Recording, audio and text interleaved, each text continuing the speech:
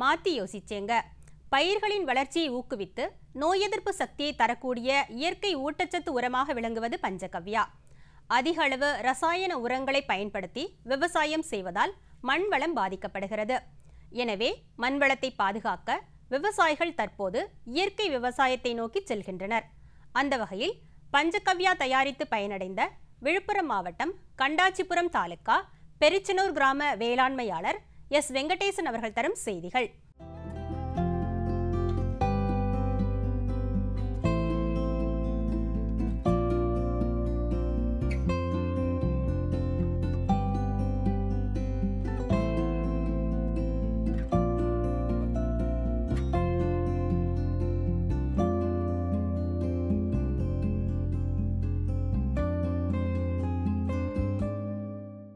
நான் வந்து பார்த்தீங்கன்னா ஒரு அஞ்சு ஏக்கர் வந்து விவசாயம் பண்ணிகிட்ருக்கேன் அதில் வந்து பார்த்தீங்கன்னா அந்த அஞ்சு ஏக்கரில் ரெண்டு ஏக்கர் வந்து மல்பெரி செடி போட்டிருக்கேன். மீதி மூணு ஏக்கரில் பார்த்தீங்கன்னா ஒரு ஏக்கர் வந்து கடலை ரெண்டு ஏக்கர் வந்து தினையும் போட்டிருக்கேன் சிறுதானியங்களும் பண்ணிகிட்ருக்கேன் இதில் வந்து பார்த்தீங்கன்னா இந்த அஞ்சு ஏக்கர் நான் விவசாயம் பண்ணுறதுக்கும் பார்த்தீங்கன்னா எந்த ஒரு செயற்கை உரமோ மருந்தோ எதுவும் பண்ணுறது கிடையாது. எல்லாமே பார்த்தீங்கன்னா இயற்கையில் தான் பண்ணிகிட்ருக்கேன் எனக்கு வந்து பார்த்திங்கன்னா ஆரம்ப கட்டத்தில் பார்த்திங்கன்னா இயற்கை விவசாயம் பண்ணும்போது சில பல கஷ்டங்கள் வந்தது. என்னன்னா சரியான விளைச்சல் கிடைக்கல. அதுக்கு என்ன காரணம் பார்க்கும்போது மண்ணோட தன்மை வந்து மாறி போயிருக்கு. மண்ணோட தன்மை வந்து பார்த்திங்கன்னா அமிலக்காரம் தன்மை வந்து பார்த்திங்கன்னா சமநிலையில் இல்லை. சில பயிர்களுக்கு பார்த்தீங்கன்னா காரத்தன்மைக்கு சரியாக இருக்கணும். சில பயிருக்கு வந்து அமிலத்தன்மை சரியாக இருக்கணும். இது ரெண்டுமே மாறுபடும் போது எந்த ஒரு பயிருமே அந்த இடத்துல விளையாது. நான் செயற்கை முறையிலேருந்து இயற்கை முறைக்கு வரும்போது என்ன ஆச்சுன்னா அந்த அமிலக்காரத்தன்மை வந்து நடுநிலை இல்லாமல் போனதுனால எனக்கு ஆரம்ப கட்டத்தில் ஒரு ஒரு வருஷம் வரைக்கும் பார்த்தீங்கன்னா அந்த பயிரோட மகசூல் வந்து சரியாக கிடைக்கல. இதுக்கு மு காரணம் என்னான்னு தேடி நான் போகும்போது அது ஆரம்ப கட்டத்தில் அப்படி இருக்கும். ஒரு ஒரு வருஷத்துக்கு அப்புறம் நீங்கள் செயற்கையை முடித்து இயற்கைக்கு மாறும்போது ஒரு வருஷத்துக்கு அப்புறம் பார்த்தீங்கன்னா ஒரு வருஷம் அல்லது ரெண்டு வருஷத்துக்கு அப்புறம் பார்த்தீங்கன்னா உங்களுடைய மகசூல் படிப்படியாக கூடும்.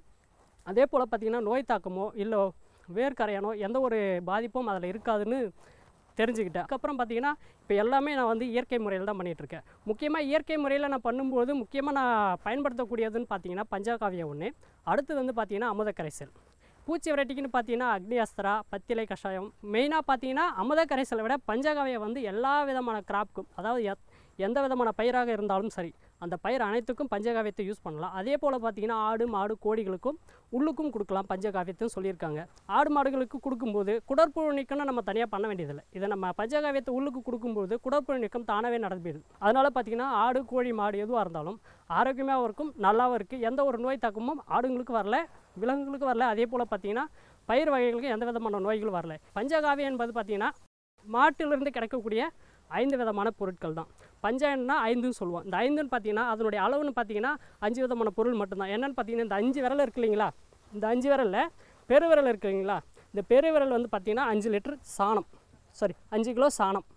மூணு லிட்டர் பார்த்தீங்கன்னா கோமியம் ரெண்டு லிட்டர் தயிர் ரெண்டு லிட்டர் பால் ஒரு கிலோ வெல்லம் அரை லிட்டர் நெய். சரிங்களா? இதில் வந்து நம்ம முத முதல்ல பார்க்க வேண்டிய ப்ராசஸ்ன்னு பார்த்தீங்கன்னா இந்த அஞ்சு கிலோ சாணம் இருக்கு இல்லைங்களா? இந்த அஞ்சு கிலோ சாணத்தை மாடு போட்ட அன்னைக்கு அந்த சாணத்தை எடுத்து வச்சு அன்னைக்கு யூஸ் பண்ணக்கூடாது.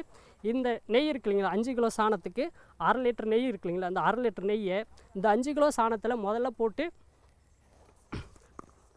பார்த்தீங்கன்னா இந்த நெய் இதுவும் கூட மிக்ஸ் பண்ணி இந்த சாணத்தோட மிக்ஸ் பண்ணும் நெய்யை போட்டு சாணத்தோடு நல்லா பிசைஞ்சு ஒரு மூணு நாளைக்கு அப்படியே விடணும். மூணு நாளைக்கும் பார்த்தீங்கன்னா தினமும் காலையில் நெய்யோடு பிசைஞ்சு பிசைஞ்சு மூணு நாளைக்கு விட்டிங்கன்னா மூணாவது நாள் எடுத்து யூஸ் பண்ணோம் ஏன் இந்த மூணு நாளைக்கு இதை நம்ம பிசையணும்னு சொன்னோம்னா இந்த சாணம் வந்து பார்த்திங்கன்னா இந்த சாணம் வந்து டீகம்போஸ் ஆகும்போது இதுலேருந்து மீத்தேன் வாயு ப்ரொடக்ஷன் ஆகும்.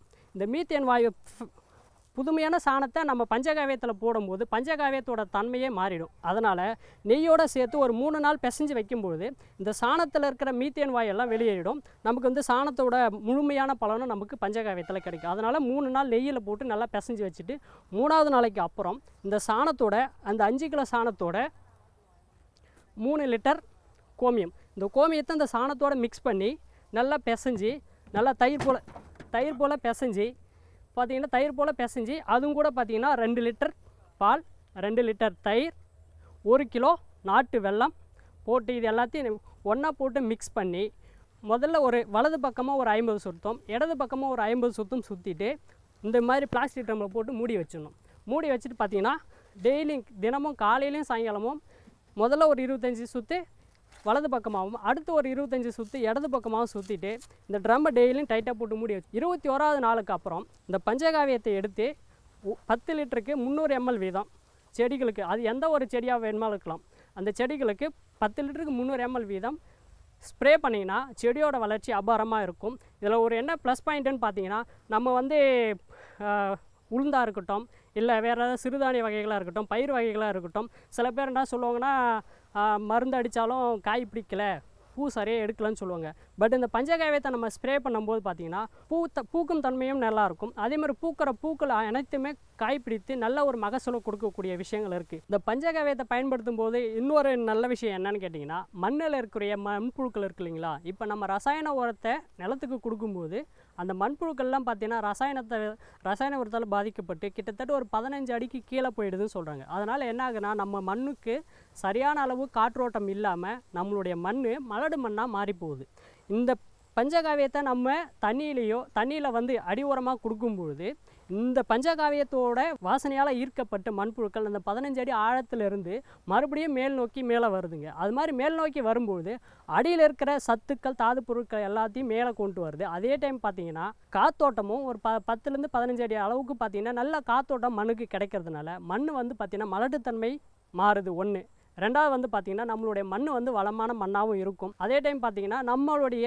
நம்ம எந்த ஒரு பயிர் வச்சாலும் அந்த பயிருக்கு தேவையான அனைத்து விதமான சத்துக்களும் கிடைக்கிறதுக்கு வழிவகை செய்கிறது இந்த பஞ்சகாவியங்க மேலும் விவரங்கள் பெற வேளாண்மையாளர் எஸ் வெங்கடேசன் அவர்களை பூஜ்ஜியம் ஏழு ஏழு பூஜ்ஜியம் எட்டு மூன்று பூஜ்ஜியம் ஆறு நான்கு எட்டு நான்கு என்ற கைபேசி எண்ணில் தொடர்பு கொள்ளலாம்.